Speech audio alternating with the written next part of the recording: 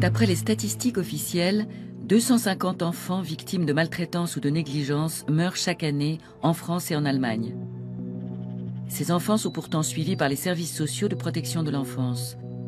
Pourquoi n'arrive-t-on pas à mieux les protéger? Marina, en France, n'a pas dépassé son huitième anniversaire. Chantal, à Hambourg, est morte à l'âge de 11 ans. Deux tristes exemples parmi tant d'autres.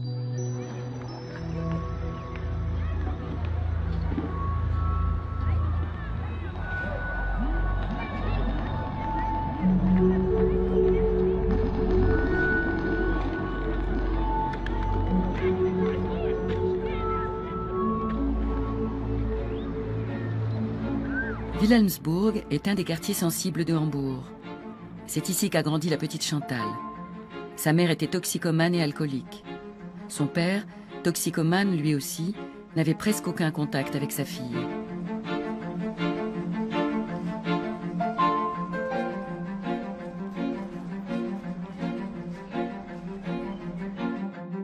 Lorsque la mère de Chantal tombe malade, au point de ne plus pouvoir s'occuper de sa fille, Chantal est placée chez un couple ami de la famille. Elle décède en janvier 2012, à l'âge de 11 ans, après avoir avalé par erreur un comprimé de méthadone qui se trouvait dans l'appartement de ses parents d'accueil. Eux aussi étaient toxicomanes.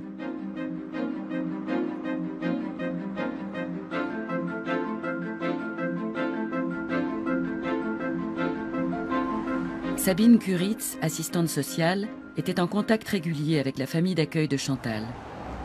Le week-end, elle venait souvent chercher la petite pour s'occuper d'elle. À l'époque, le couple, qui avait deux enfants, hébergeait la fillette et un autre enfant dans son logement exigu. Chantal a habité ici, au premier étage sur la gauche. Vous veniez souvent lui rendre visite? Ce n'était pas vraiment des visites, mais je venais régulièrement déposer les enfants ou bien chercher le linge. C'était des contacts brefs. Je venais chercher les enfants et demander aux parents quand je devais les ramener. Bref, des choses d'ordre pratique. Pour s'occuper de ces deux enfants, les parents d'accueil ont été payés pendant des années par le Jugendamt, l'organisme public chargé de la protection de la jeunesse. Manifestement, ils ont été dépassés par la tâche. Le plus souvent, la mère était inactive et le père passait beaucoup de temps à dormir. Chez eux, il y avait plein de vêtements inutilisés qui traînaient par terre. La mère rapportait à la maison ce qu'il recevait des œuvres de charité et elle entassait tout en vrac. Parfois, c'était vraiment le bazar. C'est Chantal et l'autre enfant placé qui pâtissent le plus de cette situation. Ils étaient très à l'étroit. Ils dormaient le plus souvent ensemble dans un seul petit lit. Chantal connaissait déjà son camarade d'infortune. Ils étaient amis, c'est pour cela qu'elle a accepté volontiers d'être confiée à cette famille. De plus, sa mère habitait le quartier. Compte tenu de ces éléments, les services sociaux se sont montrés favorables à ce placement. L'après-midi, Chantal avait l'habitude d'aller à l'Arche, un lieu d'accueil pour les enfants de son âge. Trois jours avant sa mort, un journaliste l'avait interviewée. Euh, Chantal. Chantal Oui. Ok. Ici, je peux faire mes devoirs. Par exemple, quand ma mère n'est pas à la maison, parce qu'elle travaille, ou mon père. Je peux venir ici faire mes devoirs et aussi jouer avec mes copines. Des fois, on part aussi en excursion. Par exemple, pendant les vacances, on s'en va souvent. Ou alors, on va aussi à des fêtes. Demain, par exemple, je vais aller à la fête d'une copine.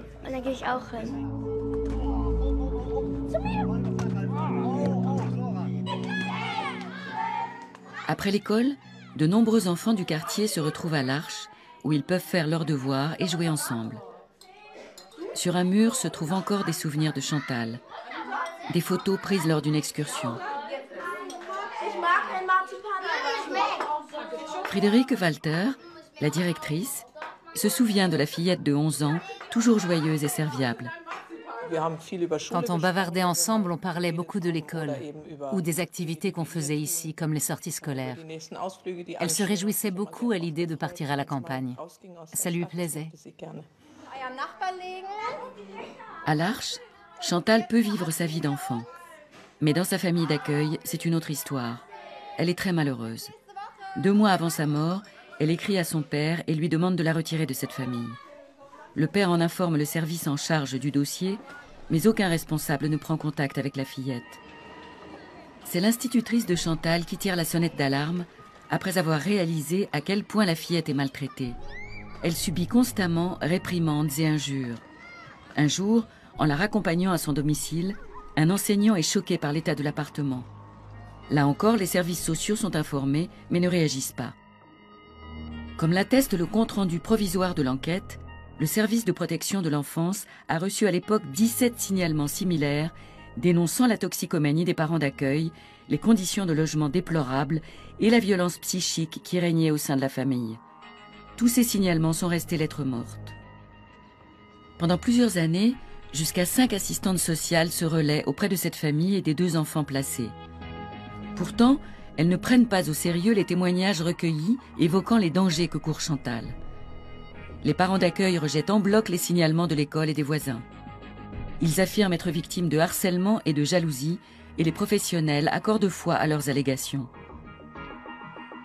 Le VSE, une association allemande privée chargée de la protection de l'enfance, ne tire pas non plus la sonnette d'alarme alors qu'elle connaît cette famille depuis le placement du premier enfant. Une assistante sociale effectue des visites plusieurs fois par an. Lorsqu'il y a soupçon de maltraitance, il arrive que les visites s'effectuent à l'improviste. Ignorant ce principe, l'assistante sociale s'annonce toujours à l'avance par téléphone.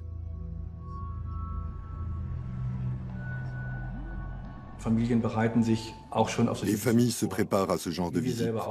Comme tout le monde, quand on reçoit du monde, on range la maison. Ça, c'est une chose.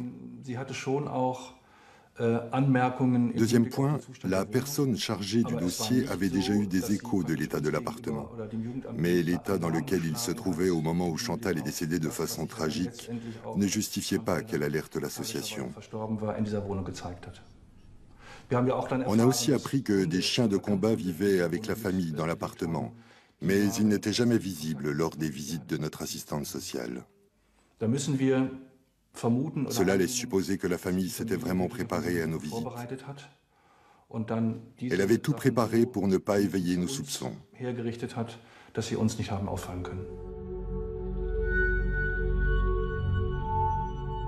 Une erreur d'appréciation qui sera fatale. Pendant des années, les parents d'accueil dupent l'assistante sociale. Elle ne se rend pas compte à quel point Chantal et l'autre enfant sont maltraités. Lorsque les services sociaux lui demandent son avis pour déterminer si la famille est en mesure d'accueillir Chantal, l'assistante ne formule aucune objection.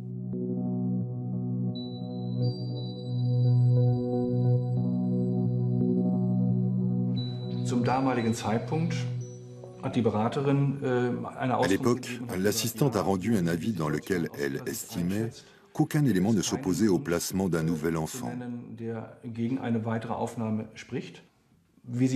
Ce n'est que plus tard que nous avons appris que les services sociaux n'avaient pas réalisé de nouveaux tests d'aptitude auprès de la famille. Ils en avaient pourtant l'obligation légale.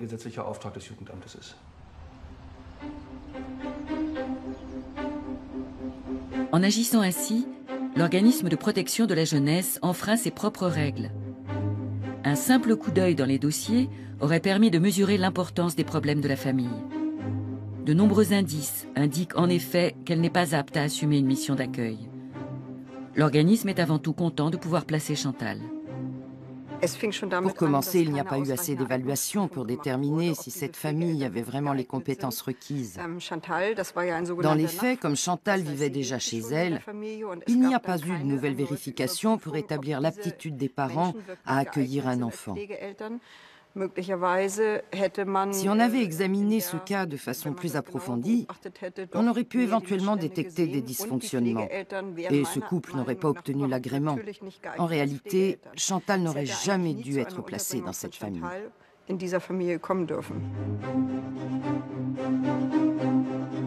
Il s'avère que les parents sont toxicomanes. On n'aurait donc jamais dû leur confier des enfants.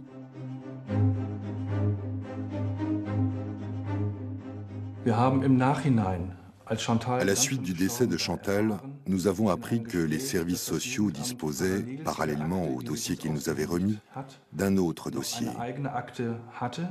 Celui-ci comportait notamment des informations sur les premiers tests d'aptitude effectués auprès de la famille.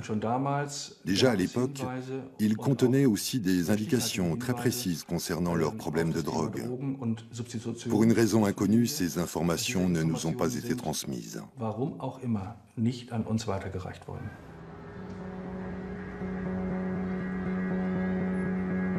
Face à ces vives critiques, Peter Markward le nouveau directeur du service d'aide à l'enfance de Hambourg ne prend pas position.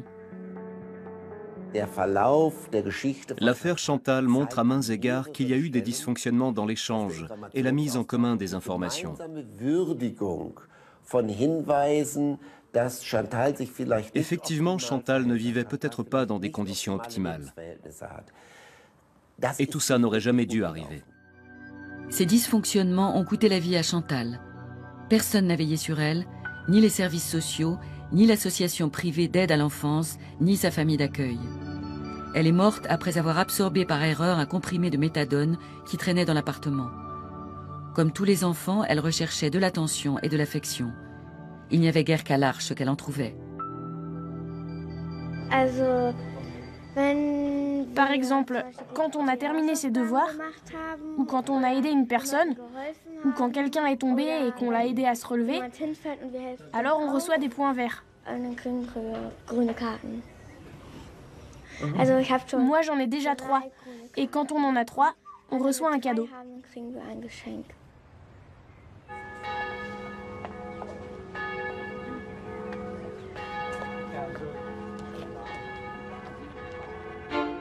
Quelques jours après le décès de Chantal, les autres enfants sont enlevés à la famille pour être placés sous la protection des services sociaux.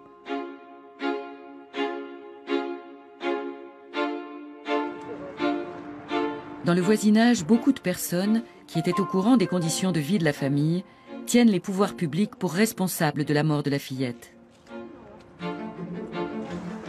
Une enfant sans défense? Qu'est-ce qu'il croit? Qu'il est inutile de la protéger? Avec une politique adaptée, ça ne serait pas arrivé. Trois ans auparavant, à Wilhelmsburg, un cas similaire s'était déjà produit. Une fillette était décédée. À l'époque, les citoyens avaient déjà exprimé leur colère et maintenant ils exigent que le gouvernement prenne ses responsabilités. La directrice du service d'aide à l'enfance a ainsi été démise de ses fonctions. Toutefois, le sénateur aux affaires sociales de la ville de Hambourg, en poste depuis quelques mois, rejette toutes ces accusations. Die erkennbar bereits jetzt fehlerhaften Abläufe sind Ausdruck von teilweise eklatantem Führungsversagen in der Jugendhilfe. Il n'y a pas eu que des défaillances d'encadrement. Le responsable de l'antenne locale du service d'aide à l'enfance assume enfin ses responsabilités. Morgens aufstehen zu müssen mit dem Gefühl, hoffentlich ist heute kein Kind in meiner Verantwortung gestorben, möchte ich nicht mehr. La situation n'est guère reluisante. Le parquet a engagé des poursuites contre les parents d'accueil pour homicide par imprudence. Des procédures judiciaires sont également en cours contre des employés. En attendant, Detlef Scheele, le sénateur aux affaires sociales, a fait établir des rapports relatifs au dysfonctionnement des services sociaux. Le décès de Chantal est un aveu d'échec du système de protection publique de l'enfance. Lorsqu'on lit les rapports concernant l'affaire Chantal, on constate qu'on a commis à peu près toutes les erreurs qu'il était possible de commettre. L'école a souvent signalé aux services sociaux les problèmes de Chantal. Les voisins aussi ont donné l'alerte, mais la coopération avec l'organisme privé chargé d'assister la famille n'a pas fonctionné. Il n'y a pas eu d'échange au sujet de la situation familiale. Étonnamment, des employés qui sont allés sur place ne se sont pas rendus compte de la présence des chiens, du lit manquant et de la situation de cette famille qui, à l'évidence, n'était pas apte à accueillir des enfants. Quelle que soit l'instance ou la personne responsable, le traitement de cette affaire est un échec sur toute la ligne. Et ce n'est que neuf mois après le décès de Chantal qu'un nouveau directeur a accepté le poste.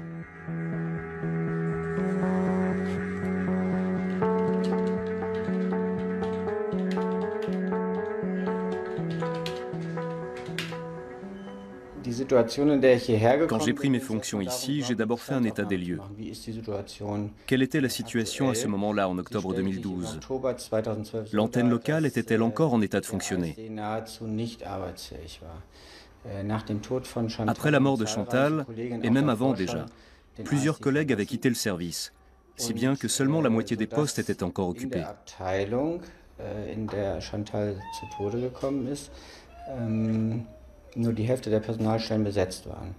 Du coup, le directeur et moi-même avons informé l'administration qu'il faudrait éventuellement songer à fermer l'antenne locale et transférer ses compétences à d'autres services. En tout, Marina sera absente 33 En France, la tragédie de Marina a de quoi susciter l'effroi. Cette fillette de 8 ans, martyrisée par ses parents, est retrouvée morte en septembre 2009 dans la Sarthe la fillette était placée sous la surveillance du service d'aide sociale à l'enfance. Afin d'échapper au contrôle fréquent des autorités, la famille déménageait souvent. Peu avant l'entrée de Marina en CE2, les parents signalent la disparition de la fillette. Son père affirme l'avoir laissée à peine quelques minutes dans la voiture sur le parking d'un fast-food du Mans. À son retour, la fillette avait disparu. Dès que l'alerte de la disparition est donnée, près de 150 gendarmes ratissent la zone commerciale située dans le nord du Mans. Les recherches sont arrêtées deux jours plus tard, lorsque le père passe aux aveux et reconnaît avoir inventé l'histoire. Marina est en réalité décédée un mois plus tôt à la suite de sévices infligés par ses propres parents. Manifestement, les services sociaux n'ont pas réagi au signalement de maltraitance. La police a finalement retrouvé le corps sans vie de la petite fille dans un container d'appareils électriques usagés. En juin 2012, les parents de Marina sont condamnés à 30 ans de prison. Les employés du service d'aide à l'enfance, quant à eux, sont exempts de toute peine.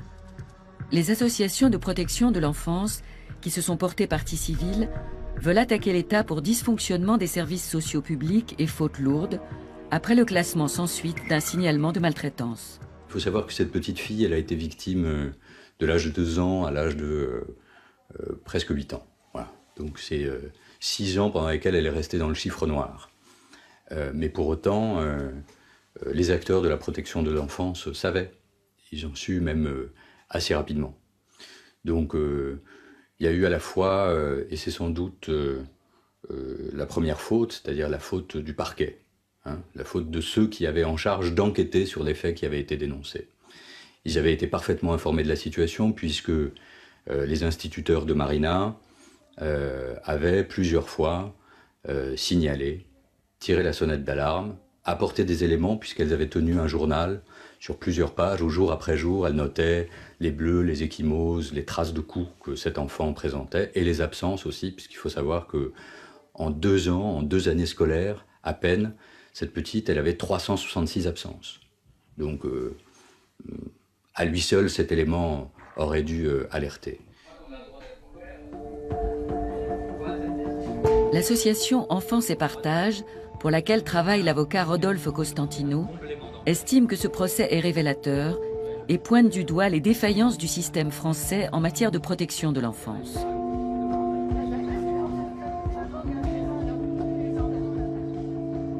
Le central téléphonique des associations d'aide à l'enfance à Paris reçoit chaque jour des appels qui signalent des maltraitances. Or, de nombreuses victimes sont déjà suivies par les services sociaux. Je crois que ce qui est troublant dans l'affaire Marina, c'est qu'en définitive, Marina, c'est la petite fille qui cache tous les autres, euh, tous les autres petits garçons et petites filles qui, comme elle, euh, ont eu à souffrir des défaillances du système. J'ai beaucoup de dossiers Marina euh, à mon cabinet. on va entendre nouvellement des affaires qui sont là, pendantes, qui vont sortir bientôt. Euh, évidemment des cabinets d'instruction dans lesquels on verra qu'il euh, s'agissait encore d'enfants qui étaient suivis, parfois suivis depuis très longtemps, et pour lesquels euh, on n'a pas su, on n'a pas pu voir ce qui se passait, et on les a conduits tranquillement dans le silence jusqu'à la mort. Depuis le décès de Marina, une polémique est née au sujet de la prévention de la maltraitance et des défaillances des instances publiques rappelant celle qui a suivi l'affaire Chantal en Allemagne. En juin 2013, le colloque sur les violences faites aux enfants est organisé à Paris sous le patronage de Valérie Trierweiler.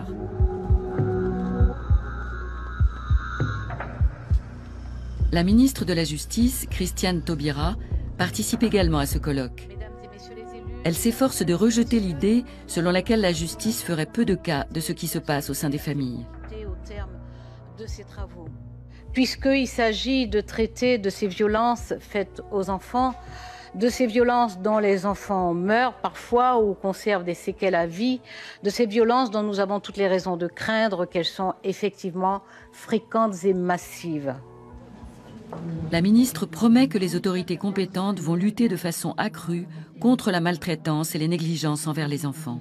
Marina est morte, donc il y a forcément des responsabilités, forcément il y a des responsabilités qui sont liées soit à des dysfonctionnements, soit à des mécanismes mal maîtrisés, soit à un manque de formation.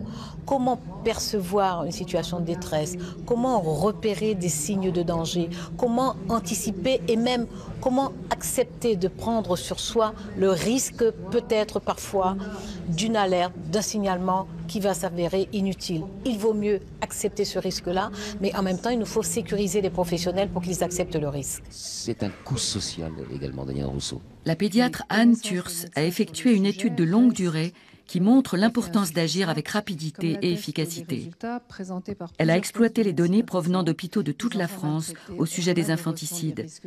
Les résultats de cette étude montrent que les statistiques officielles sont erronées. On va revenir donc à cette question des conséquences à long terme J'ai fait une étude seulement sur les infanticides, c'est-à-dire les homicides d'enfants de moins de 1 an, des tout petits. Mais c'est la tranche d'âge où il y a le plus d'homicides de tous les âges de la vie. Et cette étude a permis de constater qu'il y avait sans probablement 15 fois plus d'infanticides que dans les statistiques officielles. Ce qui amène le chiffre annuel pour les seuls enfants de moins de 1 an à plus de 250. Chez les moins de 15 ans, il y a certainement euh, entre 300 et 500-600 cas par an. Donc ce qu'on dit maintenant en France, 1 à 2 enfants par jour, c'est un fondement. Les violences familiales sont donc beaucoup plus fréquentes qu'on ne le suppose. Conséquence, les services sociaux sont mis sous pression, en France comme en Allemagne, et nombreux sont ceux qui se replient sur eux-mêmes.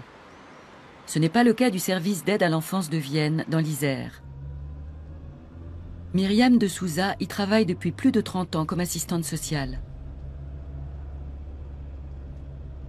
J'ai vu vraiment la différence depuis une dizaine d'années à peu près. En fait, le, les familles sont plus nombreuses. Nous avons quand même, euh, nous touchons vraiment de la précarité, euh, de la misère dans tous les sens du terme, j'ai envie de dire. Euh, et après, après, oui, c'est une, grosse évolution qui, est parfois difficile hein, pour, pour nous, TISF, parce qu'on nous a mis dans, dans ce rôle-là un peu et je crois que parfois on n'était pas, on n'est pas préparé, quoi malheureusement.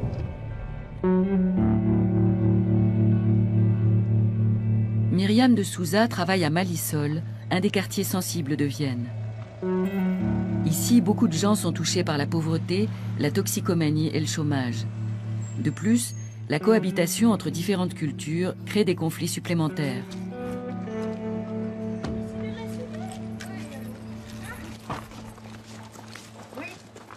Chaque jour, l'assistante sociale rend visite à deux ou trois familles. Elle les aide à organiser le quotidien et leur donne des conseils pour l'éducation des enfants. Depuis trois mois, elle s'occupe à nouveau d'une famille qu'elle a déjà suivie plusieurs fois. En ce moment, elle veille sur une petite fille, la petite dernière de la famille, âgée de 20 mois. Bonjour Bonjour Floriane Coucou Pupus Deux fois par semaine, elle vient voir si tout se passe bien. Hein Qu'est-ce qu'on va aller faire ce on matin va préparer le bain. Voilà. Et puis... La maman a des difficultés à comprendre les comportements de son enfant.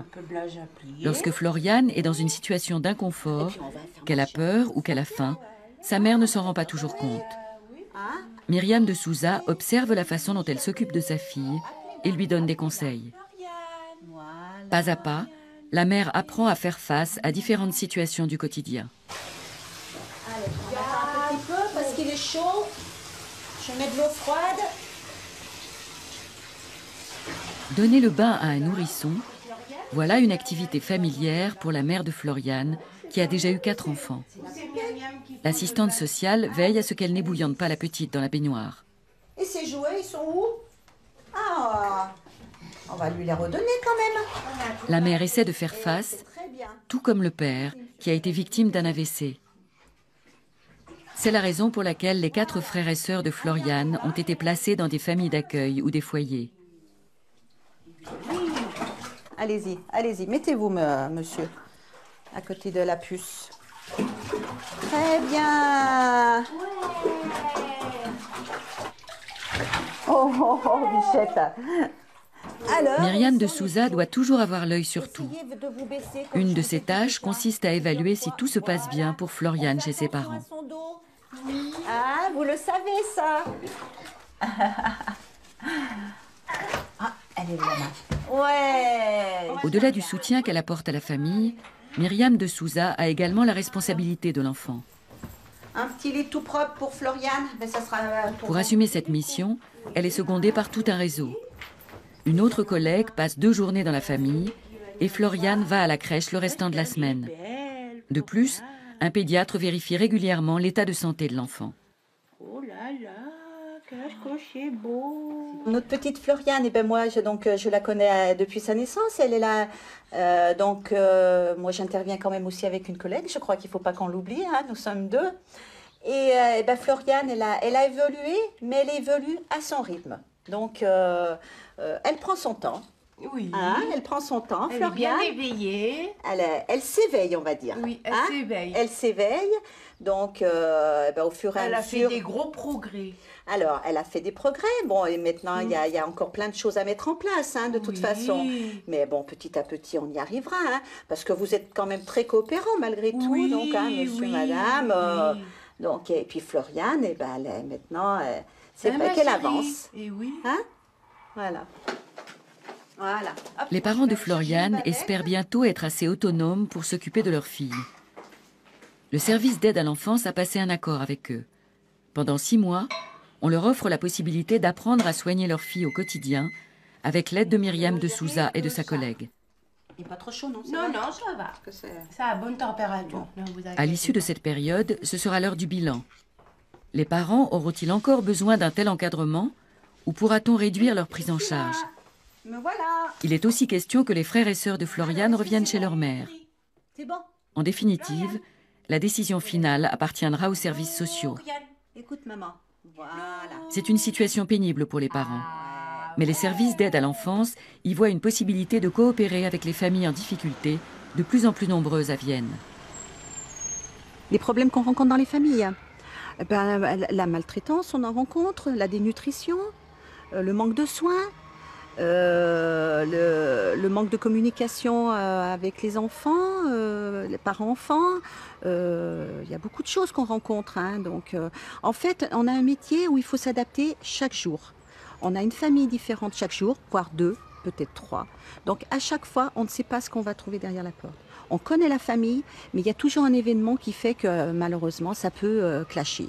Donc il faut qu'on soit réactive à ce niveau-là aussi et dire ben non, euh, là euh, on va procéder autrement. Il faut que ça soit très rapide hein, parce que des fois on n'a pas le choix. Hein. Dans les situations d'urgence, les services sociaux doivent réagir vite en s'adaptant au cas par cas. Mais sont-ils vraiment en mesure de le faire? À Hambourg, les acteurs de la protection de l'enfance mettent tout en œuvre pour qu'une tragédie comme la mort de Chantal ne se reproduise plus. Première étape, mener une enquête dans l'affaire Chantal pour faire la lumière sur les dysfonctionnements survenus au sein de l'antenne locale des services sociaux. Bilan de l'enquête, lorsqu'une personne vient demander de l'aide à ce service, il est rare qu'elle rencontre un interlocuteur compétent. Il y a beaucoup de services sociaux à Hambourg qui fonctionnent bien. Les personnels savent ce qu'ils ont à faire, on sent qu'ils font tout ce qui est nécessaire et qu'ils sont consciencieux. J'ai vu aussi des services où je me suis dit, là ça ne va pas du tout. Un jour, j'ai vu par exemple trois jeunes collègues de bonne volonté, certes, mais quand on leur a demandé Vous travaillez ici depuis combien de temps? Une d'elles a répondu Depuis 11 mois et je suis la plus ancienne du service. Normalement, on est censé être 11 employés, mais là, on n'est que 4.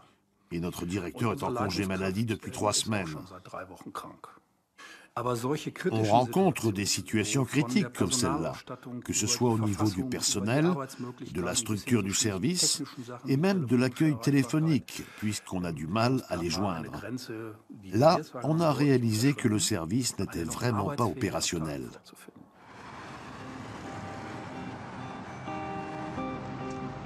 Mais les enfants en détresse ont besoin de protection. Antje Lorenzen travaille depuis 4 ans à l'antenne locale des services sociaux de l'arrondissement de Hambourg-Mitte. Toutes les semaines, elle effectue des visites au domicile de plusieurs familles. Beaucoup d'entre elles vivent dans un HLM situé en face du bureau d'aide à l'enfance à Billstedt, un autre quartier sensible de Hambourg. Ce quartier cumule les problèmes crise du logement, pauvreté, chômage. En moyenne, Antje Lorenzen s'occupe d'une cinquantaine de cas en parallèle. Elle examine les demandes d'allocation familiale, donne des conseils aux parents divorcés, traite les appels téléphoniques émanant de voisins, d'instituteurs ou de médecins qui signalent des maltraitances. Un travail exigeant et mal rémunéré. Les employés des services sociaux gagnent en moyenne moins de 2000 euros net par mois. Aujourd'hui, Antje rend visite à une famille dont elle s'occupe depuis plusieurs années. Un appel des voisins a éveillé ses soupçons. Visiblement, le couple se dispute souvent et les enfants souffrent de cette situation conflictuelle. L'assistante sociale leur a attribué une aide familiale pour gérer le quotidien.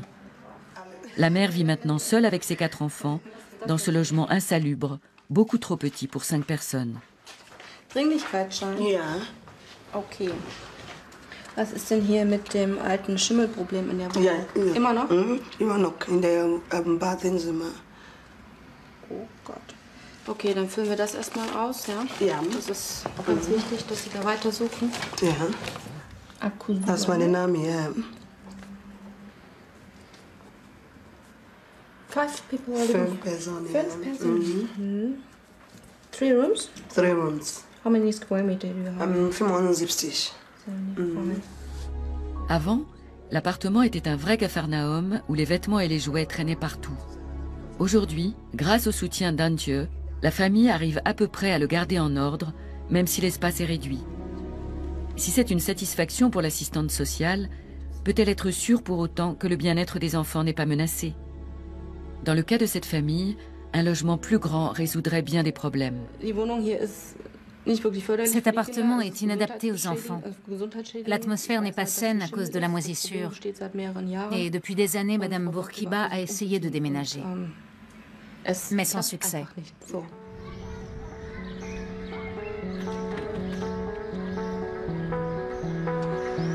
Depuis le drame de l'affaire Chantal, Antje est encore plus vigilante. Dans le doute, elle préfère venir chaque semaine contrôler la situation chez les familles soupçonnées de maltraitance. Ça nous touche. C'est évident. Surtout depuis le drame de la petite qui est morte.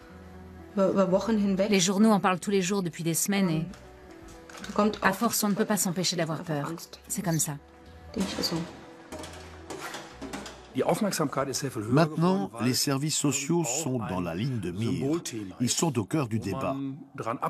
Est-ce que l'État-providence s'investit suffisamment pour ses enfants? Quant aux assistantes sociales, ce sont elles qui sont en première ligne. Et on les harcèle toujours avec les mêmes questions. Est-ce que vous en faites assez? Est-ce que vous faites ce qu'il faut? Ständig am Parfois, on n'arrête pas de ressasser certaines choses qu'on a ressenties et qu'il est difficile de décrire avec des mots. Ce sont des intuitions, des suppositions. Ähm, On a du mal à dire si dann telle ou telle situation présente un danger ou pas. ähm, Peut-être on ne le saura jamais d'ailleurs. Dans certains cas, notre travail bascule vers une activité d'enquêteur, ein ce qui complique un peu le contact avec les familles, car il arrive que la confiance soit entamée. Also es ist ähm, Parfois, on est sur le fil du rasoir. Tanz auf Messerschneide manchmal.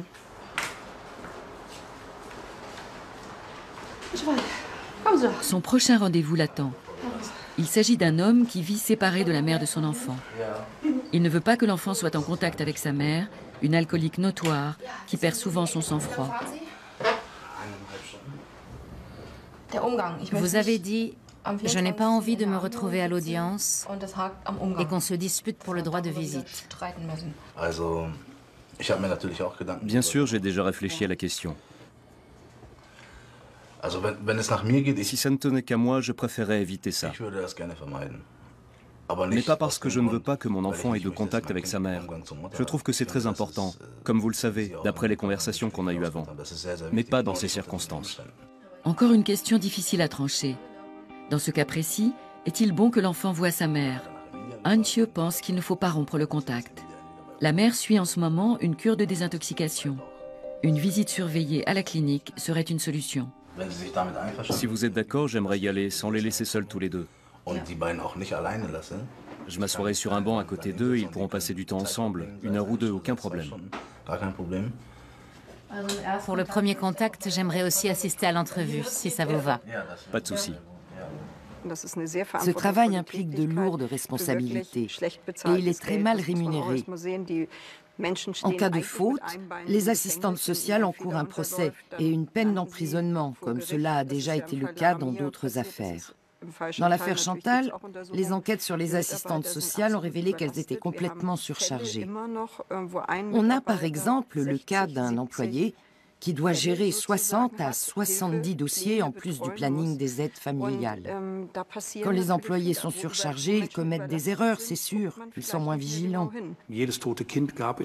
Chaque mort tragique, comme celle de Chantal, nous interroge sur la façon d'améliorer nos inspections et la gestion de la qualité et du risque. En soi, ça part d'une bonne intention. Mais à chaque fois, de nouvelles règles viennent s'ajouter aux précédentes dans ces différents domaines, sans pour autant que le respect des règles existantes soit assuré.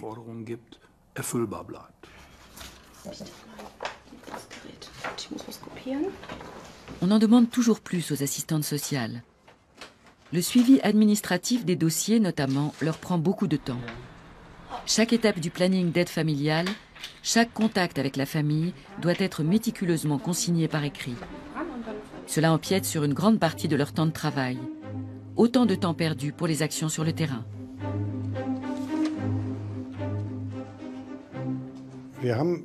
En ce qui concerne la protection de l'enfance en général et les services sociaux en particulier, on constate qu'en Allemagne, la tendance est à un renforcement de la protection et des contrôles. Au niveau des instances gouvernementales et administratives, la peur d'un nouveau drame a eu pour conséquence la mise en place de systèmes de contrôle toujours plus nombreux, ce qui implique aussi toujours plus de paperasse. Résultat, la bureaucratie continue à augmenter au détriment des actions sur le terrain. De plus, cela ne garantit pas une plus grande sécurité comme on nous le fait miroiter. Lorsqu'un drame se produit, on a le réflexe de dire il faut faire plus de contrôles, prendre des mesures plus énergiques, éditer plus de rapports, et les assistantes sociales doivent faire plus de visites. On pense à tort que c'est une solution pour prévenir les situations à risque dans certaines familles. Les situations à risque sont de plus en plus nombreuses.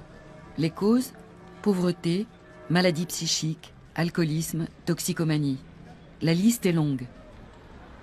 Tandis que les dépenses en matière d'aide sociale en Allemagne augmentent pour atteindre plus de 7 milliards d'euros par an, les responsables politiques parlent d'économie budgétaire. Sur l'ensemble du territoire, les aides à l'éducation ont augmenté. Mais dans le même temps, c'est ce qui est absurde, il y a une telle pression pour faire des économies qu'on n'a plus assez de personnel dans les services sociaux.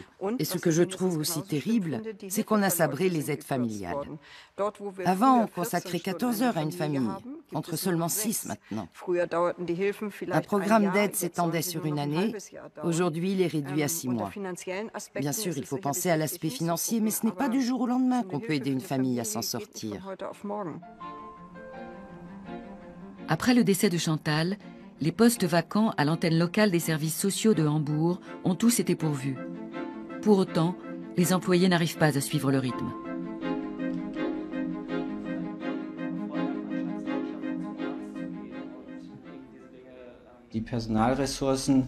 On n'a pas assez de personnel pour garantir la qualité du travail que l'on attend de nous.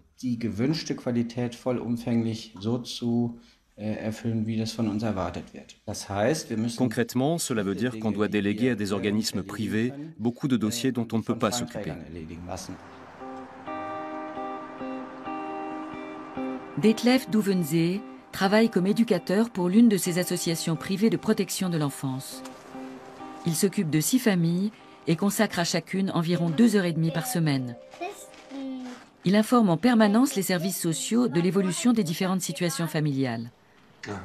Cela fait 40 ans qu'il côtoie des personnes en difficulté, comme cette maman isolée qui élève seule sa fille, la petite Romy. Pour lui, le plus grand défi en tant que travailleur social, c'est de parvenir à gagner leur confiance. Le travail social a si mauvaise réputation qu'au départ, les personnes en difficulté préfèrent éviter d'avoir affaire à nous. C'est un processus de longue haleine. Au début, il faut arriver à se faire connaître. On passe d'abord un peu de temps avec elles pour faire connaissance, elles voient qu'avec nous, elles peuvent rire. C'est important. Dans un premier temps, il faut donc gagner leur confiance. Car ce sont des personnes qui manquent de confiance. Elles sont méfiantes, renfermées sur elles-mêmes et souffrent souvent de problèmes de dépendance. Et elles ont peur que les bureaux d'aide sociale leur arrachent leurs enfants. J'ai pris contact pour la première fois avec les services sociaux en 2008, après que le père de ma fille a été tué. J'étais dans une telle détresse. À l'époque, je buvais encore. Je n'arrivais pas à m'en sortir toute seule. Alors j'ai décidé de demander de l'aide. Warum? Wollen wir hier noch deine Puppe einpacken? Ja. Und dann war hier dein Puppenwagen. Romy, 5 ans, vit à nouveau chez sa mère depuis trois mois. Pendant deux ans, elle a été placée dans un foyer, tandis que sa mère suivait une cure de désintoxication. Detlef s'est longtemps investi pour que la mère de Romy puisse reprendre la responsabilité de sa fille.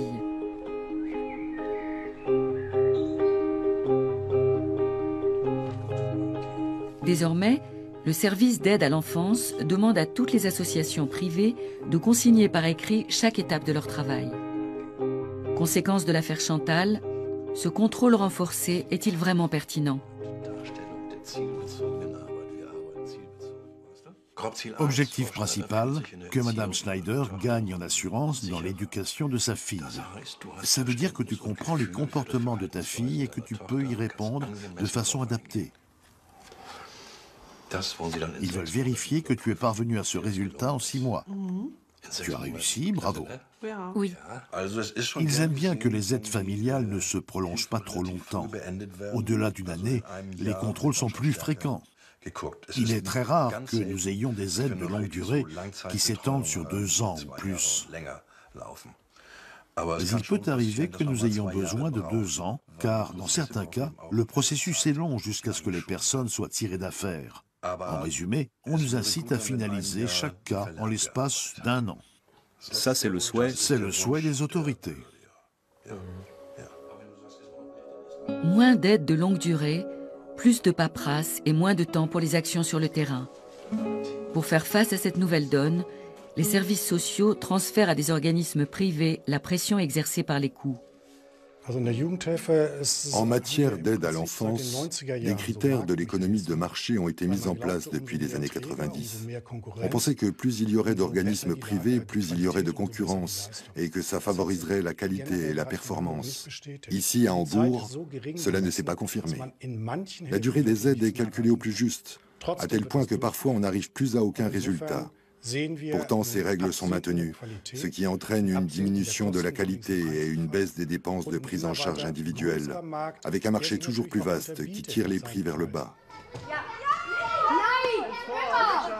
Si les coûts pour chaque enfant pris en charge diminuent effectivement du fait de la concurrence, le domaine de la protection de l'enfance en Allemagne engloutit globalement toujours plus d'argent.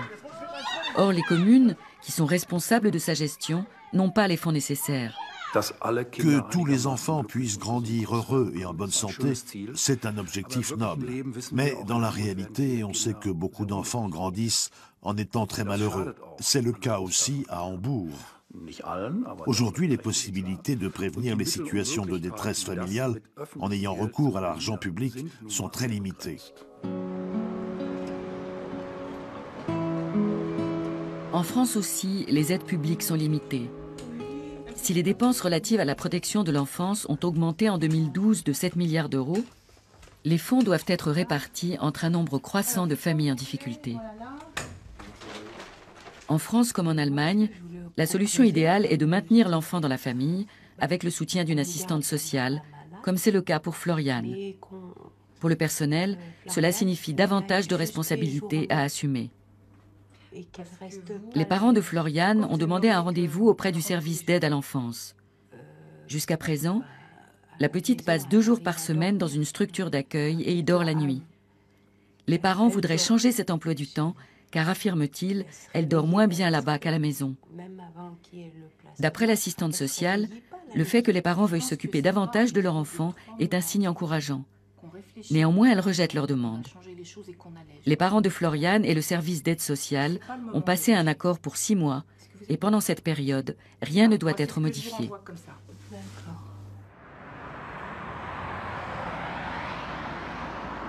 Au Conseil général de l'Isère, les responsables du dossier de Floriane se réunissent aujourd'hui pour discuter de son cas. Éducateurs, infirmières, pédiatres, thérapeutes, assistantes sociales, tous donnent leur avis au sujet du développement de la fillette au cours des derniers mois. En France comme en Allemagne, dans les services de protection de l'enfance, cette interconnexion entre les différents spécialistes ne va pas forcément de soi. Les affaires Marina et Chantal ont démontré de façon criante le cloisonnement des services. Et euh, on n'avait pas un contact vraiment...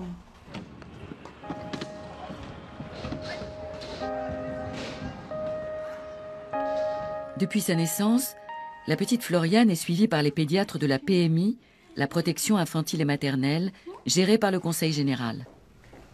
C'est un service public gratuit dont bénéficient principalement les futurs parents, les femmes enceintes et les enfants de moins de 6 ans.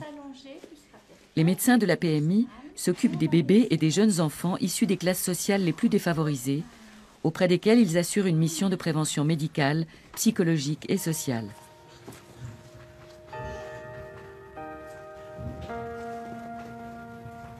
On a quand même le sentiment que les familles euh, sont euh, de plus en plus en, questionnement et en difficulté dans leur rôle de parents. Et euh, nous sommes beaucoup amenés à accompagner les familles, à les soutenir dans leur rôle parental, peut-être plus qu'avant du fait de la situation de crise qui ne facilite pas la vie de chacun mais euh, ça reste notre rôle premier, le soutien à la parentalité. En Allemagne aussi, la prévention est désormais considérée comme l'outil le plus prometteur pour garantir le bien-être des enfants. Ils doivent être suivis dès le plus jeune âge au plan médical et psychologique pour désamorcer les crises au plus tôt. Birgit Folster, infirmière, aide des familles en difficulté à Hambourg. Il existe le programme Accueil des bébés qui présente les offres d'aide familiale disponibles dans le quartier. Ähm, On espère toujours que les mères vont accepter d'emblée de recourir à ces aides avant qu'elles n'en aient vraiment besoin.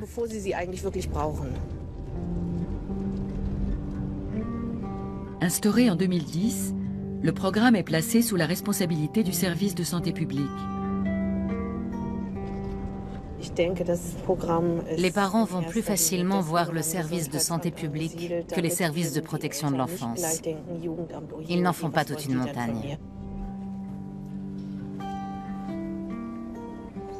Birgit Folster n'annonce jamais ses visites à l'avance. Elle veut se faire une image réelle de la famille qu'elle va voir. Cependant, elle accepte le risque de trouver porte close.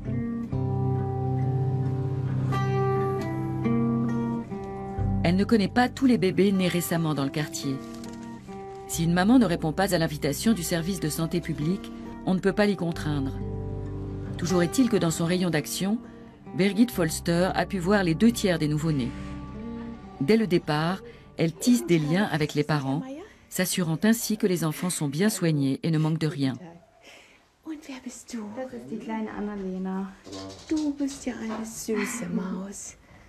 Oh, schläft gerade den Schlaf der Gerechten. Ja. Wie ist es mit den U-Untersuchungen? Waren die bisher ja, alle in Ordnung? Die waren alle super. Wir waren jetzt auch bei der U3-Untersuchung. Schön. Vor einer Woche, alles super. Anna Lena, née il y a quelques semaines, est le premier bébé du couple. Les jeunes parents sont ravis de pouvoir poser à Birgit Folster toutes les questions qu'ils ont sur le cœur. On ne savait pas du tout à qui s'adresser pour plein de choses. Par exemple, à quelle aide on avait droit et à qui il fallait la demander. Ça fait du bien d'avoir un soutien. Cependant, un certain nombre de parents fuient tout contact avec les organismes sociaux. La prévention ne remplace pas un accompagnement intensif et la prise en charge des familles en difficulté incombe au service d'aide à la jeunesse. À cet effet, il faudrait de meilleures conditions de travail et plus de ressources financières. Notre société doit s'en donner les moyens. On manque d'effectifs dans les services de protection de l'enfance, mais ce n'est pas tout. Il faut un travail de meilleure qualité et pour cela on a besoin de temps pour favoriser une concertation collégiale et une meilleure communication au sein des services sociaux. Enfants et adolescents ont besoin de beaucoup de temps pour trouver leurs repères avec leur famille. Je pense que si on investit beaucoup en amont, cela finit par être payant. Sinon, il faut programmer a posteriori toute une batterie d'aides et c'est un processus sans fin. Qu'est-ce qui devrait changer? Sur le plan des professionnels, au moins deux choses, la formation et le décloisonnement. C'est-à-dire que les gens apprennent à connaître même pas tellement dépister la maltraitance, mais connaître le fonctionnement normal des petits-enfants. À partir de là, ils pourront être alertés par ce qui n'est pas normal. Et le décloisonnement, parce que l'affaire Marina est typique à ce sujet, beaucoup de choses graves arrivent parce que l'assistante sociale n'a pas parlé au médecin, qui n'a pas parlé au juge, qui n'a pas parlé à la psychologue, etc., etc. Or, ces professions travaillent de façon complètement euh,